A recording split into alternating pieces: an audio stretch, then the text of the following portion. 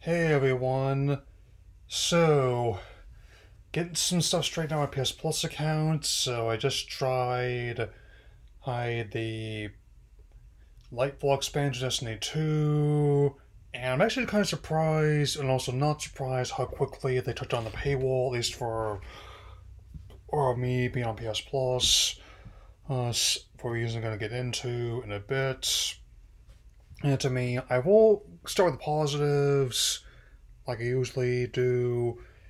The gameplay is still quite engaging for the most part, as are some of the designs of the weapons and gear, and some of the adversaries. But, I was about to explain, that's not really, really, really much else with that besides that.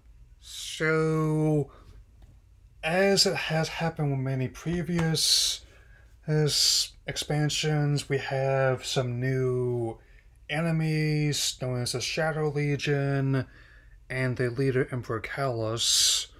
And I will only half apologize for more the mispronunciations and some details being kind of fuzzy because I may not have played every single whole expansion, but the ones I have played I've been able to at least least follow. But this has probably been the most convoluted one yet. I mean, which is a shame.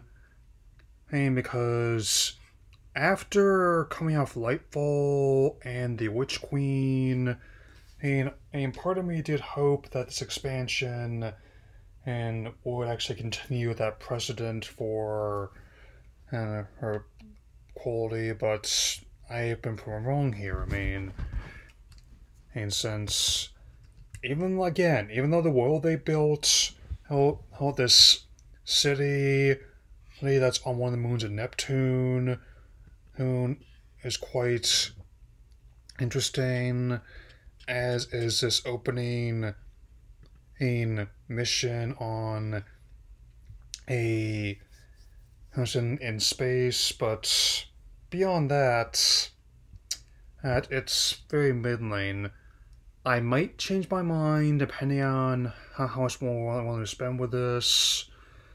I managed to who get let's get the story campaign started as well as play some of the multiplayer rounds, but so far or it's not really doing a whole lot for me.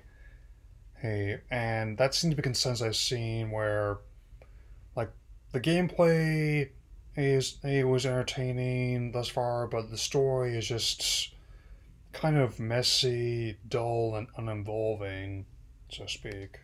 So, if you who do actually plan on playing this, my advice would also be to maybe don't pay list price for this expansion.